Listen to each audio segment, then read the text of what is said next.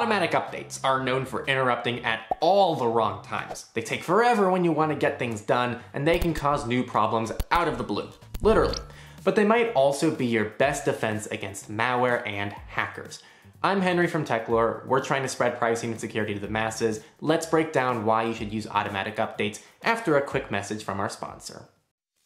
This video is sponsored by Cake Wallet, an open source cryptocurrency wallet and exchange for iOS and Android to keep your crypto assets safe. Not only does Cake Wallet keep cryptocurrencies incredibly easy to use, but also with tons of great features that make it a beyond polished experience. We also wanted to specifically cover Monero.com by Cake Wallet, which is a Monero only wallet for people looking for absolute safety of their Monero funds. Be sure to tune in later to learn more about them.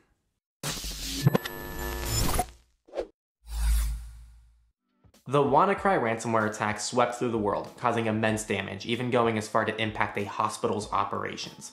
What made this even more devastating was Microsoft had already patched the vulnerability being exploited by WannaCry a month before it was released into the wild.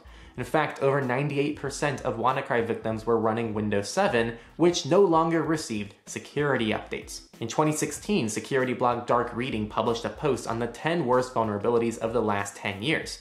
That list included Heartbleed, patched through software updates, the DNS cache poisoning flaw, patched through software updates, Shell Shock, patched through software updates, Android stage fright, patched through software updates, SSL 3.0 Poodle was mitigated but not completely patched and was eventually fixed with the update to TLS, which is in many ways an SSL 4.0. A Microsoft Server buffer overflow vulnerability patched through software updates the Java serialization bug, mitigated but not completely patched through software updates. Glibc, get it driven. The Glibc stack-based buffer overflow, patched through software updates. And finally, bad USBs, which are not software and sadly cannot be patched via software updates. Now there's a pattern here. With one exception, every major security issue was patched via software updates. And if you listen to Surveillance Report, our weekly news podcast covering these exploits, you'll find the same pattern in almost all of them to this day. This means those who choose to ignore patches are at a higher risk for malicious activity on their machines. This is because the older software is, the longer hackers have to analyze it, break down its code, and find flaws, all with more exploits to work with. Automatic updates promise to make this issue better because the world is busy enough as it is, and if it can be automated, the world can be a slightly more secure place. That's at least the selling point of automatic updates, but let's cover the drawbacks before we dive into whether or not you should be using them. First, the elephant in the room. They can be annoying, super annoying, especially from Microsoft, but macOS pushes buttons too. This is generally almost done on purpose to discourage users from running outdated software. Second, there are risks that come with running the latest and greatest. There have been updates that have caused some nasty issues, but nowhere near as large as the number of exploits and security problems fixed by updates. Recovering from an update issue is also likely much easier than recovering from something like a ransomware attack. Third, updates can cause incompatibility on your device. This is definitely more of a concern for businesses, which we will talk about. Fourth, there is a risk involving you needing to trust the person behind an update. This is a common point touted by the open source and especially the GNU community. While this is valid, even the example cited of valid problems dwarfs the number and severity of security issues that could have been prevented if people just utilized automatic updates. WannaCry alone is a single exploit out of millions that I would argue is large enough of an event to trump some of the rare examples where automatic updates were used maliciously. But that's just me. So while automatic updates aren't perfect, security professionals still believe they're massively important, so let's talk about you and what you can do to stay safe out there. We have three solutions that should apply to 99% or more of you, as well as two very important explanations that you need to hear, so stick around. First, if you're a casual user of the internet with a standard threat model, just go ahead and turn on automatic updates for your operating systems, apps, programs, and everything else. This should be a wide majority of you watching this video. If you're not doing this, you're putting yourself at risk. If you're asking if this is you, it's you. Second, if you're in a business environment and need to ensure the software you're reliant on is stable and tested, we still recommend automatic updates for non-critical software. If you're a film production studio, for example, that means utilizing automatic updates for your browsers, your word processors, things like that, and then maybe reserving manual updates for your production software.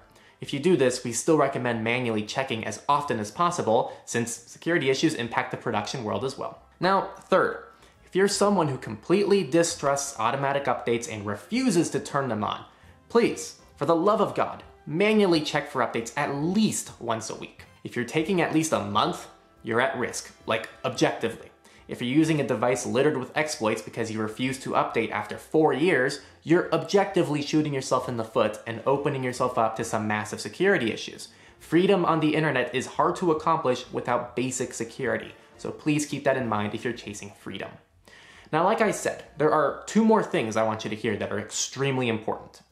For operating systems, you need to distinguish feature updates versus security updates. Not every update is a security update, and we're starting to see this difference be clearly defined.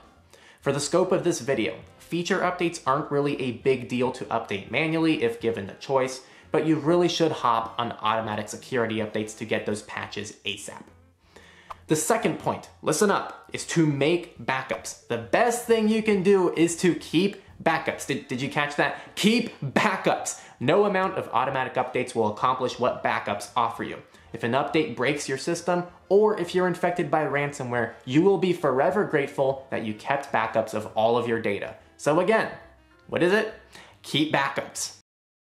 Monero.com is a great alternative to Cake Wallet for people who are looking for a Monero only wallet to keep things as private and secure as possible due to just less complexity. Less is more, and for those who just need Monero, Monero.com is exactly what you're looking for. If you also want Bitcoin and Litecoin support though, Cake Wallet itself is another great option to consider as well. Both apps are entirely open source, and we think they're a great tool for people involved in the crypto world or just looking to get started. Check them out down in the description.